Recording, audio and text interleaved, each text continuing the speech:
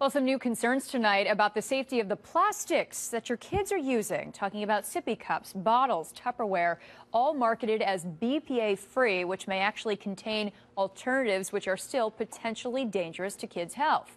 In tonight's Your Life, Your Health, Julia Dunn breaks down the issue in a story that every parent should see. I never in a million years thought that I would need to protect my kids from plastic.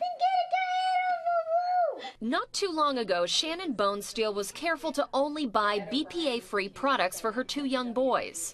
The FDA recently banning the chemical in baby bottles and children's drinking cups. We have so much to worry about as parents, this is just another thing. Now, a new study has her questioning just how safe BPA free really is. So much that she's rid her kitchen of plastics and switched over to glass. It really upsets me because at the time I thought that I was doing the right thing. I thought that I was making good choices for my family, and to think that the choices I made could actually end up hurting my kids in the long run, it's, it's really frustrating. The new research published in the journal Environmental Health Perspectives says testing found 9 out of 35 sippy cups tested were found with significant amounts of estrogenic activity, including 7 cups found with more estrogenic activity than a cup made with BPA.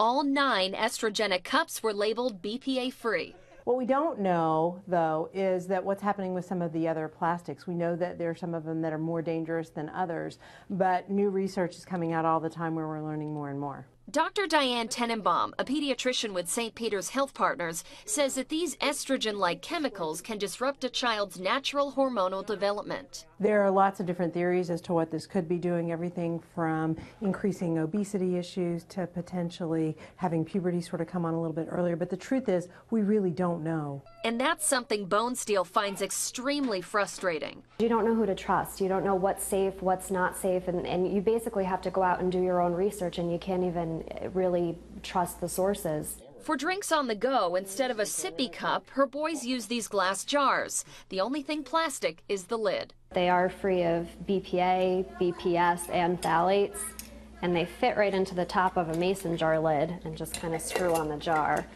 An alternative to glass can either be something aluminum or stainless steel, but one thing you have to remember is that with aluminum, sometimes there's a BPA resin coating that can be found on the inside.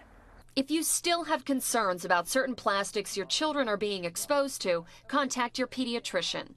In Clifton Park, Julia Dunn, CBS 6 News.